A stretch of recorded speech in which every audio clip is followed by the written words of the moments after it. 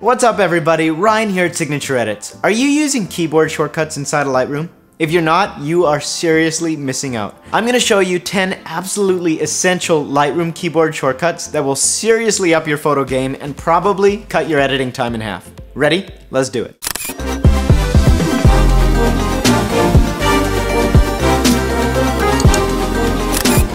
All right, starting with number 10, we have toggling between workspaces using the E key to get to the library, D for develop, and G for grid view. These keys will save you a ton of time switching between the library and develop modules. Our next essential shortcut is the auto advance. Enabling caps lock on your computer turns this on and allows you to cull or organize your image by color, star, etc. without having to press those arrow keys to get back and forth. If you're working on a laptop, shortcut number 8 is absolutely essential. By pressing tab or shift tab, you can hide all of the toolbars and expand your window for maximum visibility while editing. This works in both the library and in the develop modules. Give it a try.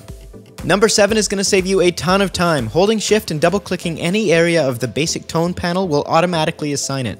So doing this to the whites and the blacks ensures Lightroom will automatically set it and nothing is clipping. Number 6 is Lightroom's secret weapon. It's the Alt Option key. Now this key enables Lightroom functions that you didn't even know existed before. One of the most handy being that you can reset entire panel adjustments just by holding Alt Option. Now there's a ton of other ways you can use this key which we're fast forwarding through now. You can check out the full in-depth video on our channel after this. Shortcut number five is the before after key. Using backslash, you can see your image before and after your edit. Super helpful if you want to see if your image is still looking natural and if you've improved it over the original. Essential shortcut number four, I might use more than anything else. It's adjusting basic tone settings using the equals and the minus keys. Doing this, I can adjust my exposure or any other basic setting by switching between them using the comma and the period keys. If you'd like to adjust in larger increments, just hold down shift.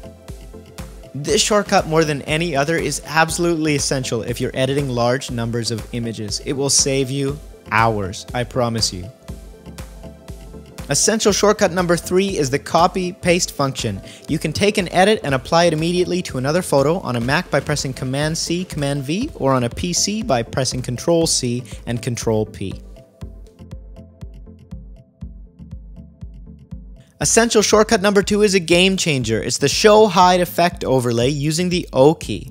Take an adjustment layer, draw it onto your image, and then press O to see where you have drawn more precisely with an overlay. This gets rid of the guessing and allows you to affect your image exactly where you want to. And finally, essential shortcut number one in Lightroom, your adjustment tool shortcuts. Alright, technically it's more than one shortcut, but these will save you a ton of time. Pressing R will immediately bring up the crop tool, which you will use probably more than any other tool. Q enables spot removal, allowing you to quickly remove distracting elements from a photo.